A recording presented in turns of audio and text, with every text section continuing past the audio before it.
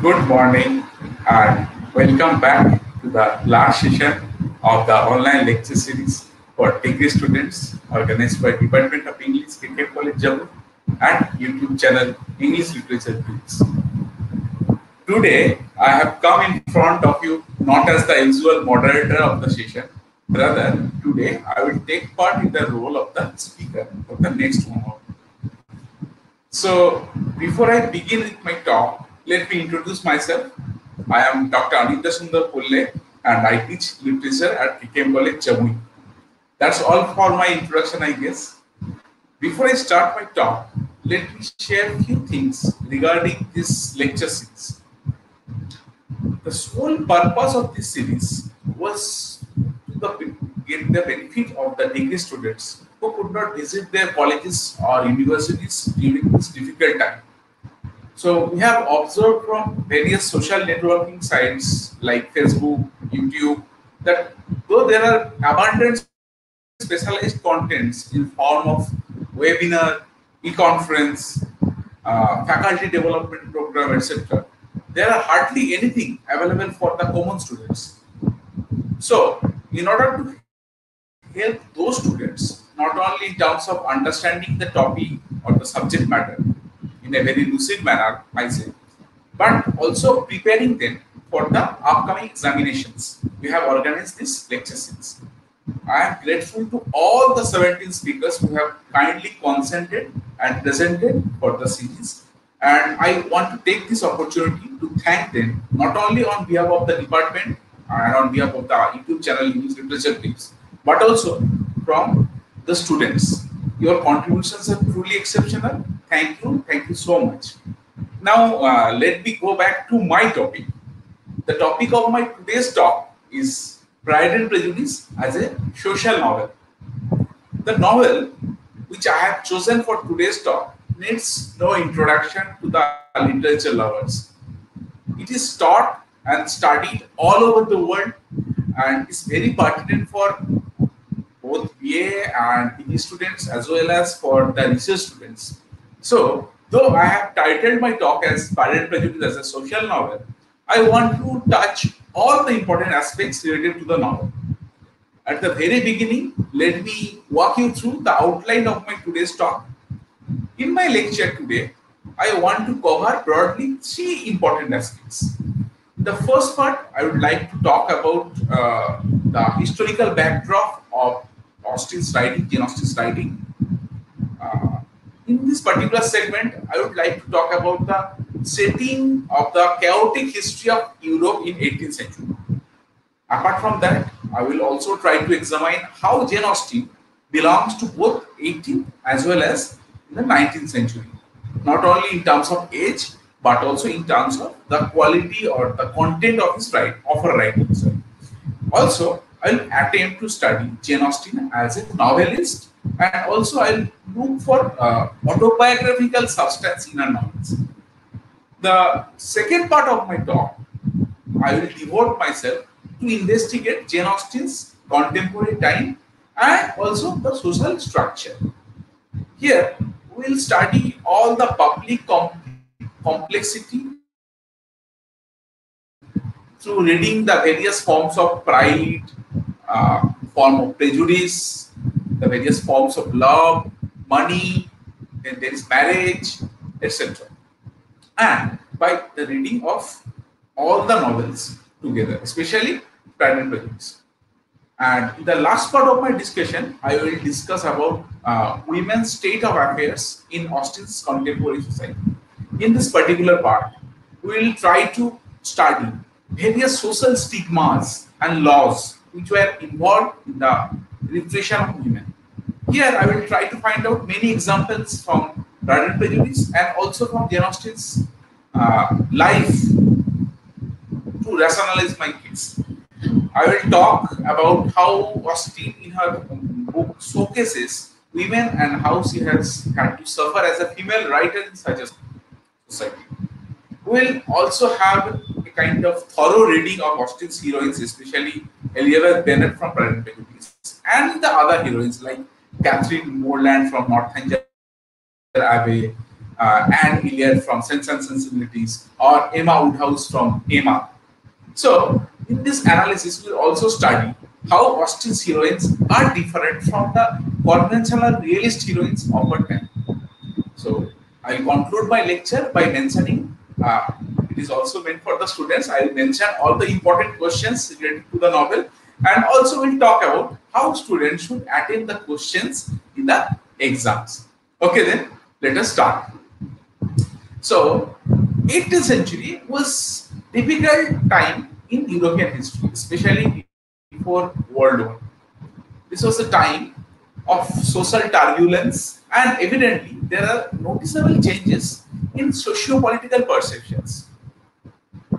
The changes could be seen in diverse social happenings such as farmers moving from countryside estates to cities.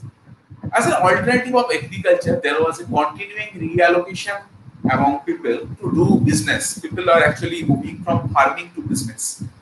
Then Europeans in general and British citizens in particular got in touch with other cultures. How? Through the uh, advan- through the advancement of colonialism and imperialism. As we all know, it was a time when British ruled almost half of the world. So simultaneously, there are uprising occurring almost all part of the Europe, and most significant example of such revolution was French Revolution, which though happened in Paris, had its shock, had its impact all over the Europe. So this was also the time when the situation of British Island, I mean, I include all the countries in British Island, Ireland, England, then Scotland, everyone, was also very disturbing. In actuality, it was actually a very fierce time in English history since the time of the Civil War. Civil War means I meant the what happened before Restoration. The Civil War uh, between the monarchy and the common people. So there was dominations of civil rights. So this type of chaos occurred as some kind of excessive affluence and scarcity remained side by side. I mean, the rich and poor they remain side by side. So there, uh, there happened to be some kind of tussle. So there were high death rate among the civilians and the development of industrialization made the life of the common people upside down. It has changed completely. This effectively gives rise to the surfacing of new capitalism. So, industrialization gives rise to new capitalism. So, these progressions brought numerous social changes. The society has changed, a, uh, has undergone a drastic changes. So, such happening started inquiring the very concept of society. I mean, there are so many social changes because of this kind of uh, uprising and. And all these things started reflecting in Jane Austen works. So this all changes was very much responsible to bring the romantic movement. As we are aware, the romantic movement started being influential during late 18th century and also in the 19th century. So according to this movement, nature is measured as a place where people could actually escape from the hustle bustle of regular life. So there is some problem in our society, there is some problem in our life. Go away from those problems by going to the nature. Just like uh, we go to Himalayas, we go to Darjeeling, we go to Shimla, we go to visit, uh, we go to Goa to move away from the hustle bustle of the society for, for some days.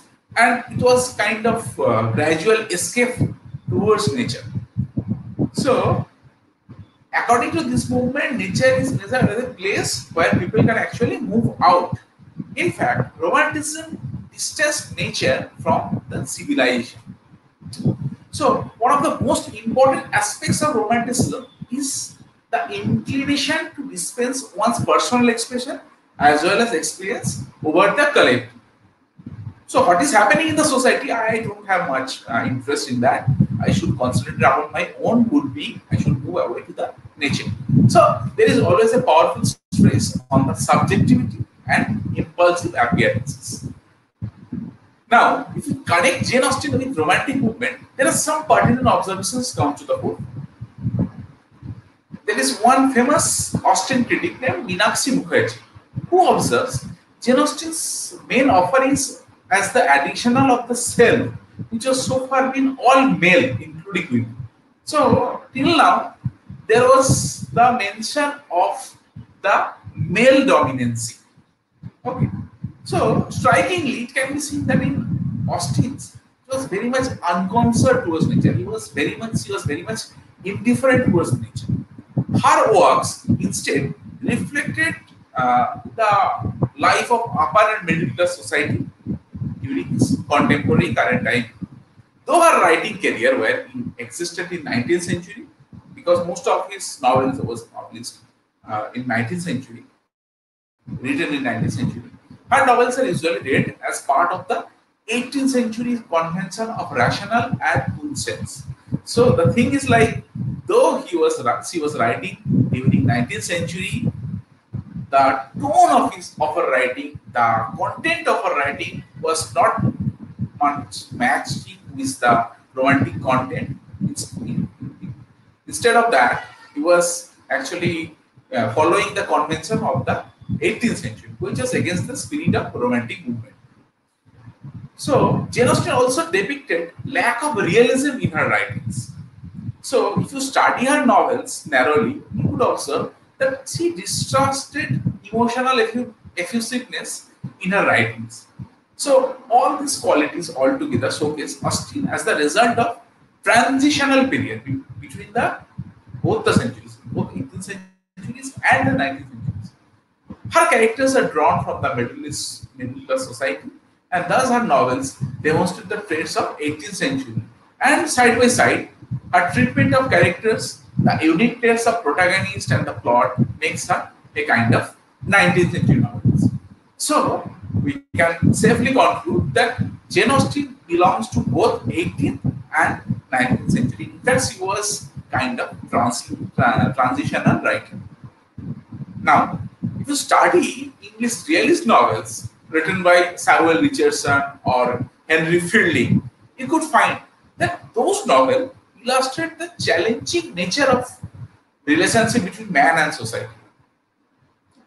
Ian Watt, in his book The Rise of the Novel, rightly pointed out that the novelty of these novels was novels written by uh, Richardson and Fielding. These are for a formal realism. That is, the idea of the novel is full of genuine description and of human practice. In other words, they always try to poise individuals right and his or her obligation towards society case. We can see that this is somewhat dissimilar from, say, Richardson or Fielding's writings. Though she tried to find out the difference between the idealistic ambition of the person and the materialism of the society. She didn't try to follow the techniques of the writers like Richardson and Fielding, as I have already mentioned. So, what she has done, she has an, as an alternative, she investigated comic resolution to those conflicts. And uh, Pride and Prejudice is a supreme example of that kind of resolution. So let us move to Austen's novel for a detailed study. So the first aspect which we are going to study here is the autobiographical nature of her novel. Jane Austen was the second daughter of her parents. Her parents had eight children. So if you study uh, Pride and Prejudice, you can see her protagonist Elizabeth Bennet was also the second uh, daughter, and she was smart. And uh, Austen also grew up together with the students of her father's school. We can have this kind of autobiographical uh, impact uh, from Catherine Morland's life, uh, the heroine of Northanger's Abbey. Then she has that kind of boarding school experience and which has been depicted in Emma Woodhouse's life in the novel Emma. So, if you study all the novels, you can see there are plenty of autobiographical elements in her novels. So Jane Austen, as a familiar novelist, depicted all the characters which she herself experienced in her real life. She enjoyed the social life, she enjoyed the balls, she enjoyed the parties, she was very much fond of dancing, and you can notice that all these aspects are available in all her works.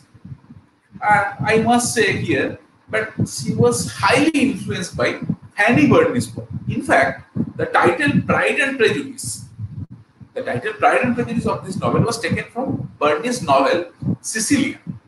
So the influence of Cecilia, uh, influence of Fanny Burney was very much depicted in her uh, writings. So Austen wrote six novels, which took her 26 years.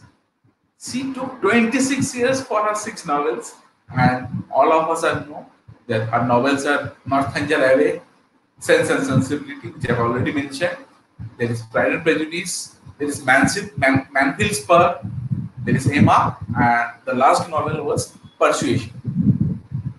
So, let us move to the other pertinent aspects related to the novel Pride and Prejudice. First and foremost, let us understand the concept of pride because we have to understand the title first. No? So, pride is presented as a very common quality of human life. Pride is available in everyone. Many people take pride in many things. Okay. So, these kind of prides can be understood only through interpretation. So, pride can be comparable with the passions like love. It's a kind of human quality. However, the object of pride is only alone. It's connected to the self alone. So, pride is some kind of extreme self regard or kind of self respect. It can also be seen as something which is enjoyable to the person. I mean, suppose I, I possess an Apple iPhone and I, I take pride of that. Okay. So, oh, with the possession of the iPhone, Apple iPhone, I take pride that I am the owner of the iPhone. Okay. So, uh, I take the pride because of that possession. So it can be anything. It can be intellectual possession, it can be some material possession, like just means an iPhone. So these attributes related to pride are clearly visible in this particular novel, Pride and Prejudice. Here, the two words you have to understand, pride and prejudice, are indication of the taste cheap concept. What is the cheap concept here? Here, the two independent identities exist separately. Pride and prejudice exist separately in personality and behavior of different characters. So, in our classroom, we are taught that in this novel, Darcy embodies pride and Elizabeth embodies prejudice. That's all. But actually, it goes beyond that. The concept of prejudice can be seen as a result of pride, as an uh, effect of pride, which is reflected in the attitudes and behavior of all the person who represent the pride and who actually reacts against those pride. So, pride can be seen in various other forms as well. Pride also shows is in various weaknesses such as it can be found in the arrogance uh, as exhibited by her wealth in the character of Lady Catherine de Bourgh.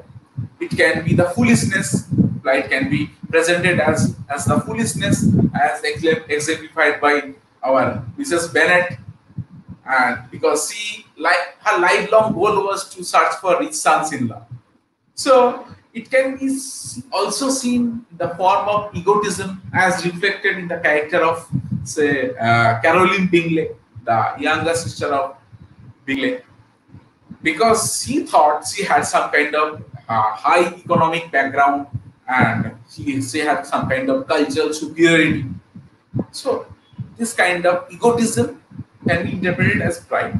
It can also be found in form of weirdness as depicted by Mr. Collins, who changes her uh, so-called love interest in like regular clothes. Actually, she proposed, uh, she thought of proposing Jane Bennet, and she proposed Elizabeth Bennet, And when she rejected her proposal, his proposal, she uh, he turned into Charlotte Bingley. So it's some kind of very funny thing. Pride can also be seen the sense of playfulness as described in Lydia, who fails to recognize the cost of her own action, which actually makes her in, insensible to the pain and sufferings she causes to other person connected to. So there is another aspect of pride which can be uh, interpreted as vanity. So if pride relates more to our opinion on ourselves, then vanity is something which would which, which would have others think of us. For example, Darcy. Darcy's self-esteem can be understood as proud, pride, because uh, that is to be understood by someone else. While George Wickham's self-regard can be seen as vanity. So, if you study the novel closely, we can also see there are uh, many form of selfishness also in form of pride. But people's approach to each other depends on the gain uh, they can obtain from them. This is best exhibited in the case of uh, George Wickham and Mrs. Bennet. George Wickham selflessly take advantage of the goodness of other people for his economic gain and Mrs. Bennet, she always gives extreme importance to petty convenience. She can hastily forget that her youngest daughter, which is Lydia, who eloped and showcases her work, worthless son-in-law. So Wickham married Lydia because of the money provided by Darcy. But as soon as Lydia got married with Wickham, uh, Mrs. Bennet actually uh, tries to give importance to it. So she easily forgets the elopement and she shows her some kind of vanity. Okay, so pride can also be understood in form of self-centeredness, which can be found in Mr. Collins, which I have already mentioned, and in form of silliness in, in case of William Lucas, who actually leaves his family occupation and joins trade in order to ascend the social ladder. So in this novel, only two characters, Darcy and Elizabeth, they carry the positive aspect of self-respect, which somewhat metamorphoses for good the course of the novel. Now, it is also important to learn a little about the term first impression and how far first impression be the last impression. We talk about lovers, love at first sight. So I don't think the first impression always carry towards the last impression. And in this particular novel, we have several examples of that. As we all know, First Impression was the initial title of the first draft of the novel, Actually, uh, actually, Jane Austen has given this title, First Impression, while he was, she was writing the first draft of it. So, this is important because this is the first impression which saves the development of the novel. So, it is the first mistakes committed by intelligent and observant people like Darcy and Elizabeth in the Meryton Ball. Both of them were intelligent, but both of them had made some kind of mistake. On one side, we have Darcy, who offends the ladies of the ball because of his prejudice. Even he comments Elizabeth, Elizabeth is tolerable enough, tolerable, but she is not handsome enough to tempt him to dance with. And unfortunately, Elizabeth over, overhears this and, and later hurt her vanity distort her judgment of the characters of Darcy as well as the character of Wickham. So this creates the root of the interconnectivity between pride as well as the prejudice. So it is the breakdown of first impression which structures the entire novel. Now, let us understand another very important feature portrayed in this novel, that is the marriage. Here, marriage can be analyzed in three levels in terms of external obstacles like uh, patriarchy and the property relation. And secondly, in terms of characters, personal attribute like pride, which has to be overcome by the process of self-education, which happened in the case of Elizabeth Bennet. Jane Austen here pointed out the role of property and economic gain in neo-middle classes treatment of marriage. It is the doubt and disregard for the women and the view of women in the eyes of society as mere object of pleasure. Here we have the examples of Mr. Collins, come back Collins again and again. Collins' proposal to Jane, then Lizzie, and later Charlotte is kind of serious failure of the society of Jane So here marriage can also be understood as the simplest route to instant prosperity. Charlotte Lucas thought she's getting old. She's already 26 and it is highly marriageable. And after this, she will not get married to anyone. So her marriage to Lucas can be a mode, can be understood as a mode of social mobility for. Or Wickham's elopement with Lydia, where Wickham has actually used Lydia to get the money or the financial assistance provided by Darcy even how seriously are we take Elizabeth's assertion that the sight of magnificence and massive Pemberley estate uh, changed her mind towards Darcy? We don't know. It was never been discussed in the novel, and we better ignore it. But, but there is some kind of thought for our uh, thinking process. So this is something which provides serious food for thought that I must say. So on the other hand, we have Mrs. Bennet, who considers her daughters as some perishable commodities. It's like a ripe banana. It will, uh, it will perish course of time if they are not disposed in the form of marriage. So, Mr. Collins's arrogance to marry Elizabeth, Lady Catherine's dullness towards Elizabeth also signifies this kind of societal attitude.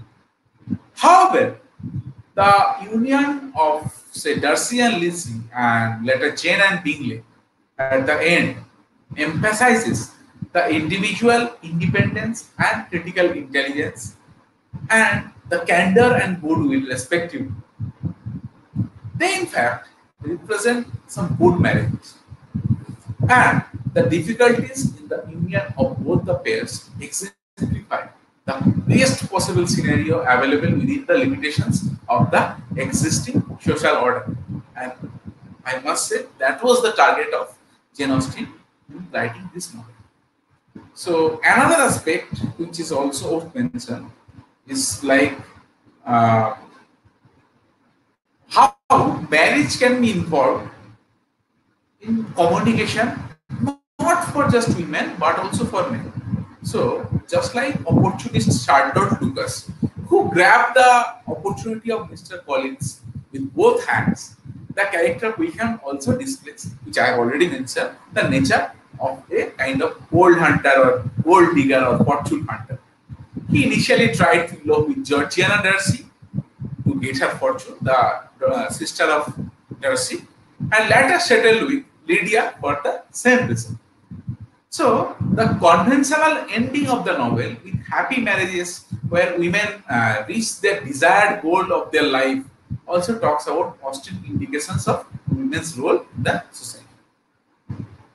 Now, let me talk a little about the final part of my lecture, the understanding of women's position in Austen's contemporary period.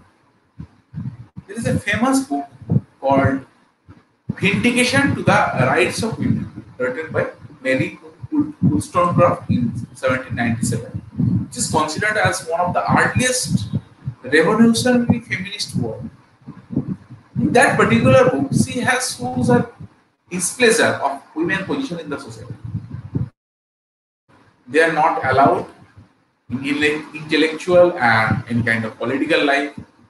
They are bred for marriage, they are bred for childbearing, and there are several laws that restricted women's right to own property.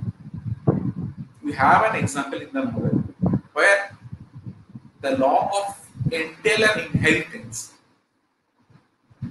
where the distant male relative will get the property after Mr. Bennet's death. In this case, we have Mr. Collins, who will eventually inherit Mr. Bennet's property as a distant male relative after his death, despite he had five daughters. He had a full family. Despite that, it was Mr. Collins who was supposed to get the property of Bennet's. So you can see the laws were against women that time. Women were also bare, barren to gain knowledge on classical language. Okay. Because there was a famous saying in Bengali, এরা যত বেশি জানে তত কম মানে the more they study the less they obey so there are certain bar uh, in kind of in terms of understanding the classical language in a letter to his niece cassandra austen jane austen wrote i quote a middle class woman who was dependent upon her family or her husband and hard time forced some to become governess, but there was little on offer young. So we can see either a middle class woman can become dependent on her family, or they can become a governess, or they can become a teacher, a tailor. That is all the occupations which were available for the women during that time. So here let us put some examples from Austen works to justify this claim. First example which comes to my mind is Lady Bertram from the novel Mansfield Park. Here, she is engaged a kind of never-ending, purposeless carpet work. She has nothing else to do. So this is the job for women, and she is actually doing that. Another example can be from the Mary. I mean, Mary in Pride and Prejudice. Since she is short, she is not beautiful like uh, her elder sisters, Jane and Elizabeth. So she is forced to learn music lessons to become noticeable in the society. I mean, he, she has to hide her physical beauty in order to show uh, some qualities like learning music and and thirdly, women's activities noted by Bingley in the Meryton world that is also interesting. She pointed, he pointed out uh, in his conversation with us that what those those women do. They paint stable, they cover spins, they knit spurs, they sing, they dance, they draw, as if as if there is nothing significant to contribute from the perspective of women to the society dominated by men. So this is very important. And there is another aspect which which is worth mentioning.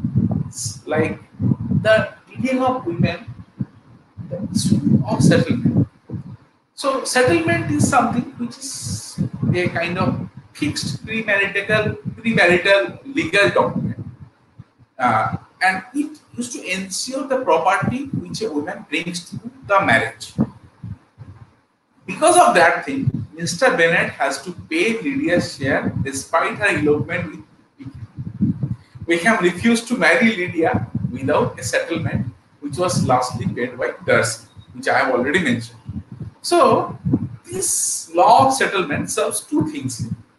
Firstly, it highlights the economic base of most marriages. And secondly, it functions as an index to character and in this case reveals Wickham's true motive of economic greed.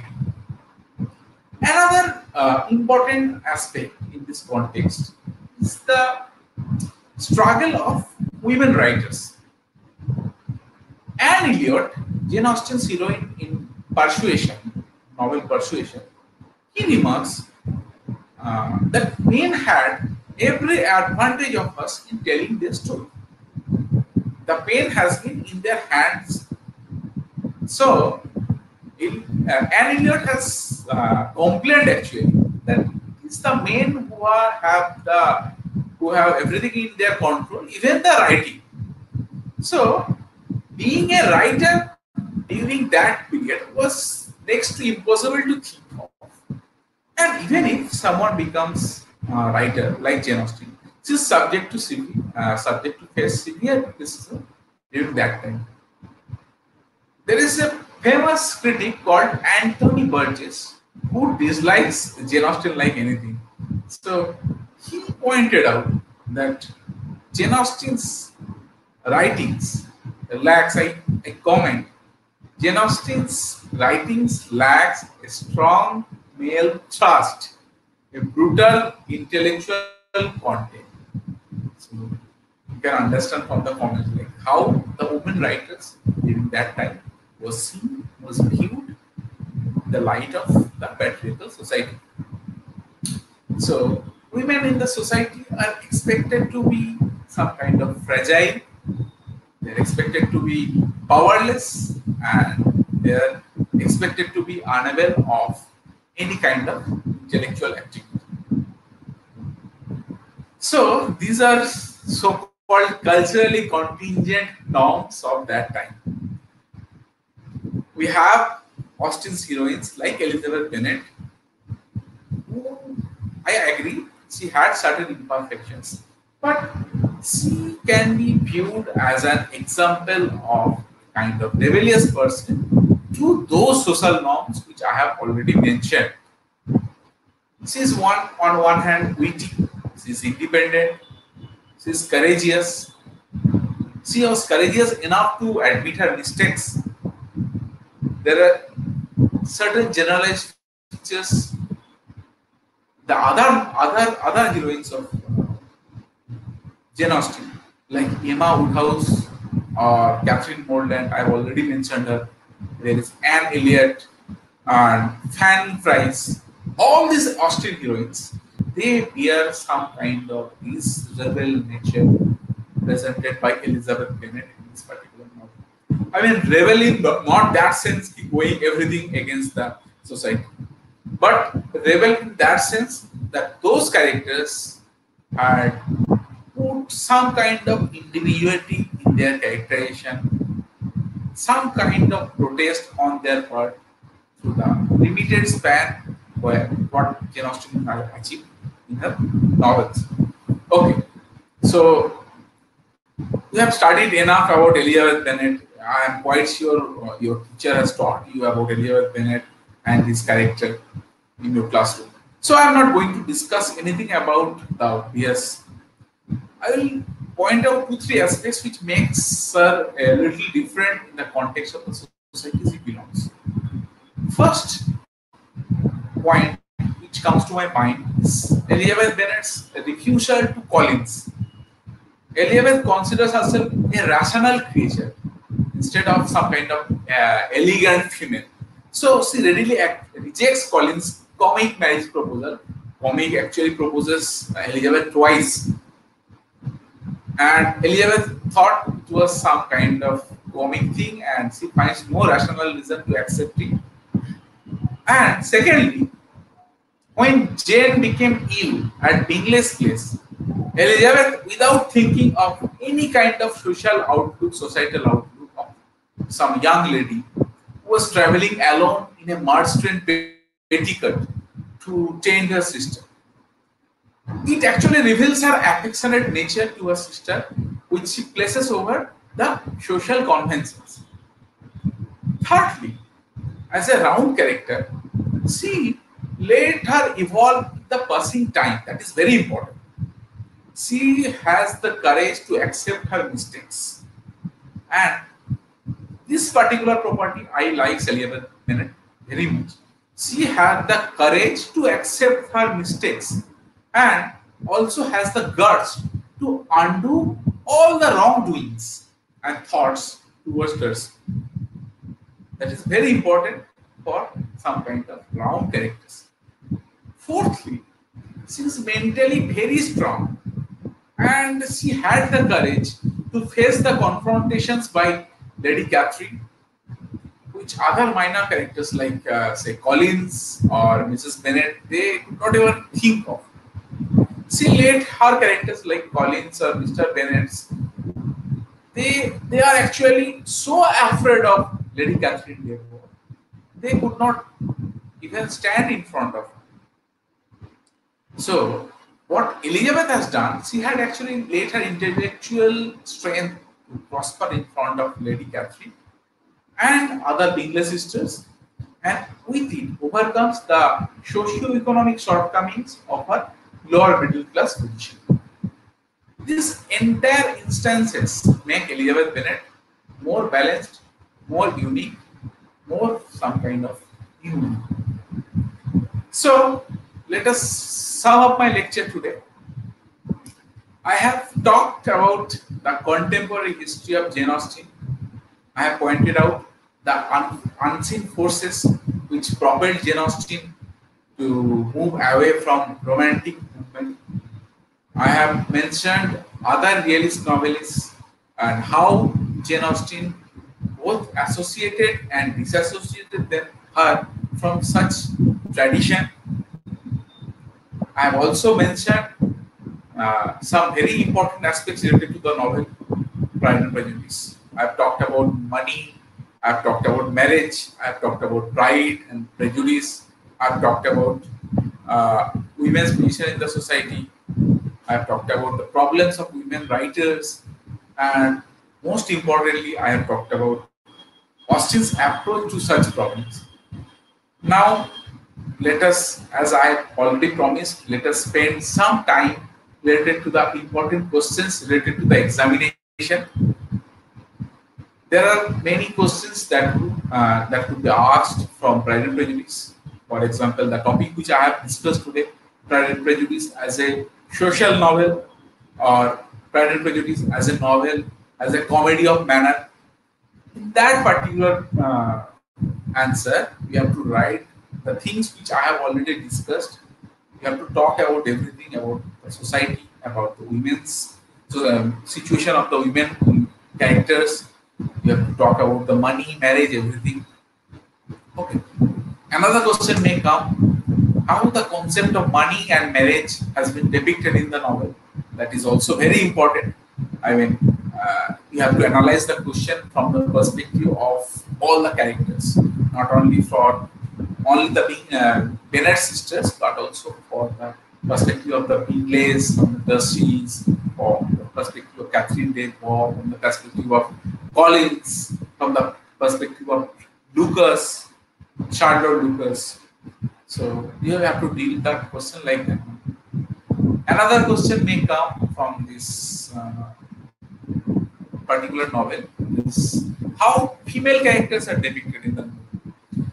Here, while answering answering this kind of question, you have to think about uh, certain characters. In categorically, you have to divide them. You have to talk about the good female characters. You have to talk about the conventional female characters. We have to talk, about uh, all the pompous, all the caricature characters like Lady Catherine de Bourgh. And we have to separately deal with, and along with that, we have to talk about their problems, the problems in the money, the problems in marriage, the problem in the social security, all these things, the problem with the entailment. Then another question is very pertinent in this discussion, that is the justification of the title. And you may be asked that uh, comment on the earlier title, uh, first impression, how those things can be understood. First impression of the novel, how first impression is different from the uh, last impression. So in that particular aspect, we have to talk about the uh, the title which was earlier given by Jane Austen and how those first impression actually changes. I mean the conception of Darcy and Elizabeth, how it actually changes in the course of time and how it actually changed for good. All these things you have to mention in your answers. So I hope I have covered uh, most of the important aspects of the novel. Uh, thank you. Thank you so much for listening. And if uh, this lecture series uh, have some kind of benefit uh, to you, it is beneficial to you, much obliged. Thank you. Thank you so much.